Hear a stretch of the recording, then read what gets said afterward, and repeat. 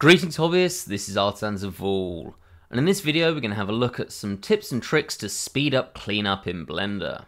So cleanup in Blender is something that's never, well let's say, a pleasant task, it's just something that needs to be done. And over the weekend I was working on this project to create a load of Roman numerals of a range of different styles from 1 to 20. If you know any of the lore for the game Horus Heresy, you probably understand why that range was 1 to 20. And in the end I got four different styles, all of which will be available on the channel Patreon. But the vast majority of this project was actually cleanup. I'd basically got a 1, a 5, and a 10 that I created from an SVG file and then started combining them together into these different styles. So obviously a 1 and a 5 to make a 4 or a 6 and so on. Now if you want to see a video on how to bring SVG files into Blender or how to just turn an image into an SVG file, there's a link in the description. But as you can probably tell combining these things together, a lot of this was just basically cleanup. And while I managed to crack this out in an afternoon to do all four different styles, if it hadn't been for some tips and tricks, I think this would have taken me hours longer. So I thought I'd share them as this is obviously something that people generally don't really enjoy. So for one of these styles, what I was doing is changing this more simplified format into having solid blocks at the top of the bottom and I'm also going to space these out and then do an inset version. Now for this what I want these smooth changes to transition between each of the different numbers so this is vastly easier to just, let's say, take the 5 that I've done for this, duplicate this, bring this over here, and then put this over the top of it. And Blender makes this quite easy with Snap Base. I can press G, B, and then grab, there's a vertex there, copy it to that vertex over there, and then click that, Control and J, and then I've got these joined together. But if I go into edit mode, you can see this is pretty messy. We're going to need to clean this up quite a lot. Now, some of this is very basic. For example, this edge here needs to be refined to the other edge. So I'm just going to control an E and then subdivide it. And then I can just bring this vertex to this one here. And normally that would be by pressing M, merge it last, and then I can just go into edit mode and delete out that edge. But this can start getting really time consuming. If I'm going to do that for every single one of these vertices, like these need to be merged together, and every single time I'm pressing M then selecting the option, it's going to start taking a while. Luckily, this is where things like add-ons come in. Now, some people are really against add-ons. They seem to think that this is something that we need to avoid, especially when you're learning Blender, because it's going to stop you learning some of the basics. But if those basics are as simple as pressing M and then at last, that's not really a basic, that's just learning a process. And if there's a faster process you can go through, then there's no reason not to learn that, I would argue. I would say one of the greatest mistakes I made when learning Blender was trying to not use add-ons for as long as possible. And in the long run that was just a mistake because it speeds up your processes. Yes, you still need to learn the basics, but there's no reason not to learn how to use the add-ons as long as you understand those basics as you go. And for cleanup, there's not that much to it other than the fact that you've got to merge things together. I have got other videos of cleanup and how you're going to do them, but I just wanted to share one that's specifically on these tips.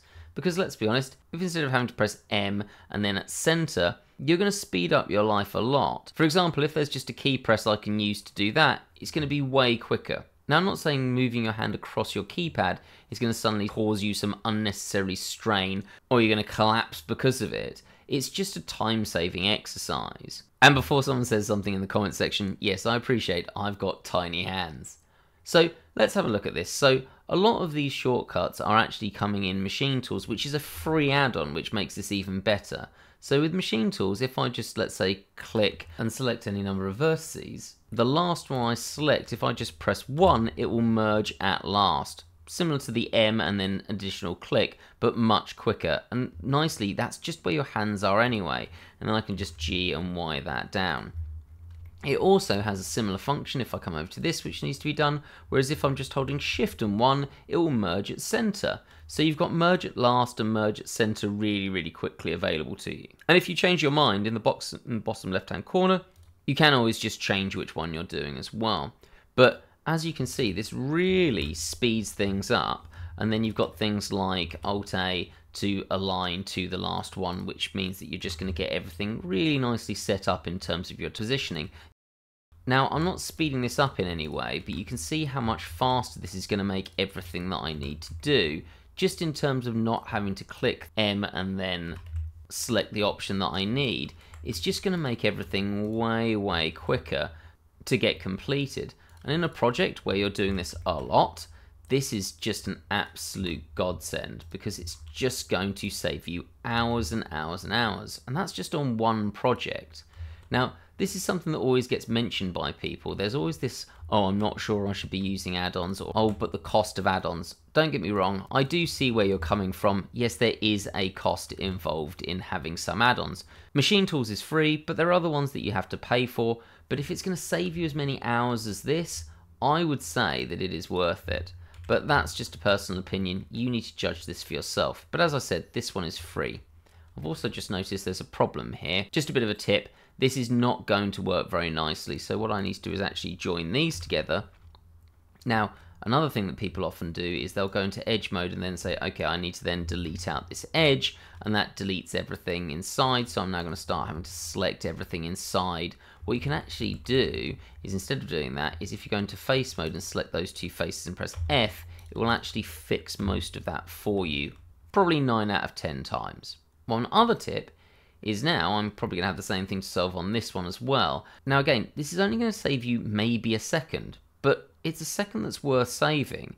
So say for example I want to go onto this one, I'm going to tab into object mode, click here, tab into edit mode, and yes this is a problem. But what if there was a quick way of doing that? If I'm in edit mode here, let's go into vertex mode, what you can also do is just hold your mouse over the one you want to move to and press Alt and Q. And again, your fingers are just by Alt and Q.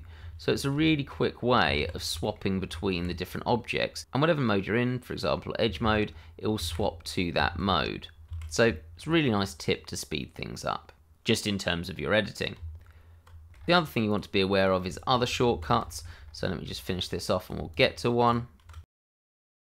But you can see how quick that was to get everything edited. So what I'm going to do is Shift and D and then let's bring that down here and I want to make a version where the top is a thicker bar. Basically so I can inset this and yes I could click through but actually if I just hold control and click that selects everything in that path. And learning these shorthands is really, really useful. So let's just S and Y that so that these are wider. Let's go to somewhere like there. And then if I go into face mode and A and then I, I want to inset each of these. Now this is a common cleanup problem as well. I have mentioned this before and it's not the worst to do something about. I can control click to there and then let's go with one to merge at last or I could have actually shift and one to merge at center but I think the at last is better so you can see how quick this is to do. Now for a paid add-on I would say here this is going to be a pain so using mesh machine where you just click control click so you've got the two then Y, and then unFCK, and then you can do this really nicely, so it's either rounded like that, or you can just press M so it perfectly merges at the most relevant point. This isn't an at last, what it does is it looks at where these lines are crossing or intersecting, and then just puts it exactly in the right place. So again, if you think how many times I've just had to do this, over the course of this project doing this 20 times on each four of the corners, saving the time doing that just really, really adds up very quickly. So then at this point I can go into face mode and select the faces that I want to, hmm, not that one, and then E and extrude those down. So we've got our interesting looking options in terms of our Roman numerals. Now there is one more trick that I want to mention in terms of cleanup, and this is a bit more of a specific problem, but is useful for some, and that is that sometimes we get objects like this. This was sent to me by a patron, and they were having the issue that they want to bring this into, I think it was Moi, I'm not sure. But in whatever program it was, everything needs to be either quads, so you can see that everything was set up as quads as far as possible, or triangles. Don't quote me on that, I don't use Moi, I'm just trying to help with the problem. But we've got these faces here where this is an n-gon and Moi doesn't like n-gons. And there, and there, and there. So we wanted a way of turning these into triangles. Now this is something that could be done manually quite easily, but it's just going to be a lot of let's J. Again, my finger's having to go most of the way across the keyboard. And with machine tools, you can actually just click two. So again, much more convenient positioning. But there is another option as well with this. And the reason we want to do this manually do note there is a triangulate modifier in the modifier menu, just here, but the person didn't want to triangulate all these nicely formed quads, only the problem areas. The other thing that we can do, which is a really nice trick, is if I select all of these edges and then select the last one as the one that I want to join to, you can also hit 2 and it will join all of them to that final point, which really, really speeds up this triangulation process. Now, don't get me wrong, I'm not saying triangles are always perfect and they're the right answer. They're not. You want to use a range of different things, but it does mean that you're going to save yourself a lot of time and it just depends on what project you're doing. But it's quite nice that you can do this quickly while still maintaining your quads in other areas. So that's another quick tip for you. As always, I hope that was useful. Not the most exciting of topics, but one that I hope will save you a lot of time over the course of a number of projects. As I say, over the course of that Roman numeral project, that probably saved me at least an hour just by speeding up everything that I needed to do. If you could like the video, it'd be really appreciated. It helps the channel grow, and more importantly, other people will find the video more easily, and hopefully it will help speed up their projects. And if you'd be willing to share any tips that you particularly find save yourself a lot of time in Blender, please do in the comments section. It's great to hear things from the community, and I know it helps everyone out. Have a great day, guys.